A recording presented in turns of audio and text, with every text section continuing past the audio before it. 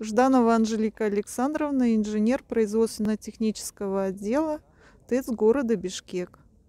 Ежегодно на ТЭЦ города Бишкек производятся ремонты электрофильтров, очистных сооружений.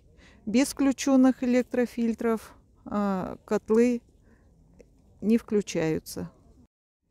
В 2019 году произведены ремонты э, трех электрофильтров, в 2020 году один капитальный ремонт и два текущих ремонта. А, весь уголь, поступающий на ТЭЦ, проходит контроль.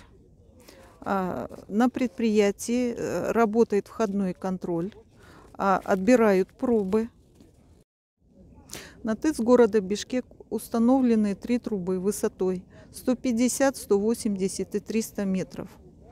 За счет высоты труб зона рассеивания увеличивается на десятки километров и оседает далеко за городом. Автотранспорт носит наибольший вклад э, в загрязнение города. Выбросы от автотранспорта ядовитые. В настоящее время количество автомобильного транспорта в городе Бишкек увеличилось несколько раз. Автомобильный транспорт является главным загрязнителем атмосферного воздуха. В настоящее время количество автомобильного транспорта в городе Бишкек увеличилось несколько раз.